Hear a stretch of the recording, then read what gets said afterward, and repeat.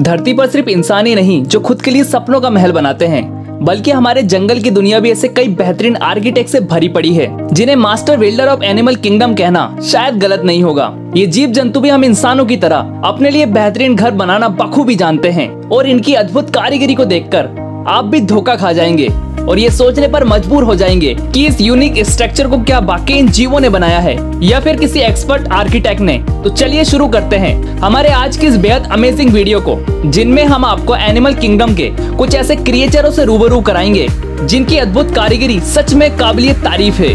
Bieber एंट चीटी अपने मेहनत के दम पर बड़ी से बड़ी कॉलोनी बसाने के लिए जानी जाती है।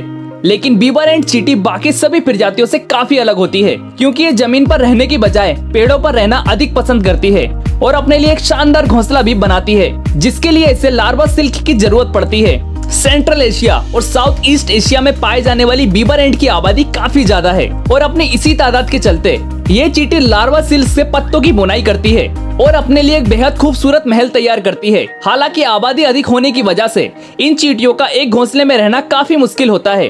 लेकिन बीबर एंट सौ से अधिक घोंसलों का निर्माण करके एक बड़ी कॉलोनी बसाती है। और इनके घोंसले इतने मज़बूत होते हैं कि तेज बारिश का भी इनके घोंसलों पर असर नहीं होता है।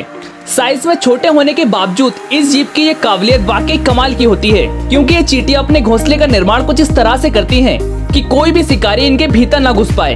घोंसला चारों तरफ़ से बंद होता है और उसका मुँह एक छोटे से छेद से खुला होता है, जिससे चीटियाँ अंदर बाहर जा पाती हैं। ऐसे में अगर गलती से कोई छोटा जीव इनके घोंसले में घुस जाता है तो फिर उसका बच पाना बिल्कुल नामुमकिन होता है, क्योंकि घोंसले के अंदर मौजूद चीटियाँ उस पर टूट पड़ती हैं और कुछ ही पल में उसे अपना शिकार बना लेती हैं। हमिंग बर्ड छोटी से दिखने वाली हमिंग बर्ड का घोंसला भी एक छोटे कप जैसा होता है, जिसे फीमेल हमिंग बर्ड दिन में कई घंटे काम करके बड़ी मेहनत से बनाती है, और इस घोंसले को बनाने में लगभग पाँच से सात दिन का समय लगता है हमिंग बर्ड घोंसले को ज़मीन से 10 से 40 फीट की ऊंचाई पर पेड़ों की पतली डाली रेशम और मकड़ी की जाली की मदद से बनाती है और फिर घोसला तैयार हो जाने के बाद इसे बाहर की तरफ़ से हरी पत्तियों से ढक देती है ताकि ये पेड़ पर आसानी से दिखाई न दे। हमिंग बर्ड का ये घोंसला बहुत ही अधिक मुलायम होता है। इसकी सबसे खास बात तो ये होती है कि ये स्ट्रेचबल यानी लचीला होता है। यही वजह है कि ये घोंसले में हमिंग बर्ड के बच्चे जैसे जैसे बड़े होते जाते हैं, वैसे वैसे इस घोंसले का आकार भी अपने आप बड़ा होता चला जाता है।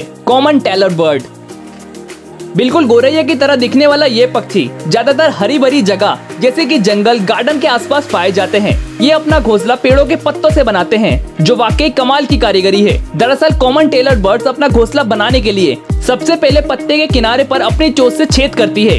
उसके बाद मकड़ी के जाले से उसकी सिलाई करती है। और फिर उसके बाद ये पक्षी उस घोंसले के अंदर मुलायम सिल्क रख देते हैं। घोंसला बनाने की यह कारीगरी देखने में सचमुच काफ़ी अद्भुत होती है। यही कारण है कि पत्तों को सिलकर घोंसला बनाने के इस अद्भुत टैलेंट की वजह से इस पक्षी का नाम टेलर बर्ड्स रखा गया है। Honey bee. बी यानी कि मधुमक्खी। इसके बारे में आपने ये कहावत तो ज़रूर सुनी होगी कि इसके छत्ते में कभी हाथ नहीं डालना चाहिए, नहीं तो लेने के देने पड़ जाएँगे। खैर, ये तो ही कहावत की बात। लेकिन हकीकत में देखा जाए तो मधुमक्खी का छत्ता सिर्फ़ एक छत्ता भर नहीं होता, बल्कि इसमें रहने वाली हज़ारों मधुमक्खियों का घर भी होता है। जिसमें मधुमक्खियों की पूरी लाइफ कट जाती है और अगर मधुमक्खी के छत्ते के अंदरूनी स्ट्रक्चर की बात करें तो ये अपने आप में बहुत कॉम्प्लिकेटेड स्ट्रक्चर है, जिसे मधुमक्खियाँ बहुत ही मेहनत और बारीकी से बनाती हैं। इस स्ट्रक्चर को हनी कॉम कहते हैं, जिसमें मधुमक्खियाँ अपना खाना, यानी कि हनी को स्टोर करती हैं। स्विफ्ट लेट वर्ड इस बात को सुनकर शायद आपको अजीब लगे कि किसी पक्षी के घोंसले को भी खाया जा सकता है लेकिन स्विफ्ट लेट वर्ड एक ऐसा पक्षी है जो ईटेबल नेस्ट बनाता है, जिसे खाया भी जा सकता है। Swiftlet word south Asia यानी कि भारत के अंडमान निकोबार इलाके में पाए जाते हैं। ये पक्षी अंधेरी गुफाओं में अपना घोंसला बनाते हैं और उनके घोंसले के साइज़ छोटे पॉकेट जैसे गुफा के दीवार पर लगे होते हैं। सिर्फ़ लेट बर्ड अपना घोंसला अपनी सलाइवा यानी कि लार से बनाती है। इसी वजह से इसे खाया भी जा सकता है। हालाँकि जब भी सनलाइट इन घोंसलों पर पड़ती है, तब ये बिल्कुल व्हाइट गोल्ड की तरह चमकने लगते हैं। और आप इस बात को जानकर दंग रह जाएँगे कि इन घोंसलों की कीमत लाखों में होती है। यही है कि दिन प्रतिदिन सिर्फ़ वर्ड की प्रजाति खत्म होती जा रही है। ग्रेट हॉर्नबिल आमतौर पर इंडिया, नेपाल और भूटान जैसे देशों में पाए जाने वाले ग्रेट हॉर्नबिल की चोंच काफ़ी लंबी, घुमावदार और मज़बूत होती है। ये पक्षी घोंसला बनाने के लिए पेड़ों के खोखले हिस्से का इस्तेमाल करते हैं। यहाँ आसानी से छेद बनाकर घोंसला बनाया जा सकता है। इसका घोंसला पूरी तरह से बंद होता है। जिसे बाहर की कीचड़ से कवर किया जाता है। और सिर्फ़ एयर पास होने के लिए और खाना देने के लिए एक छोटी सी जगह होती है। अंडे देते समय फीमेल हॉर्नबिल नेस्ट के अंदर पूरी तरह से बंद रहती है।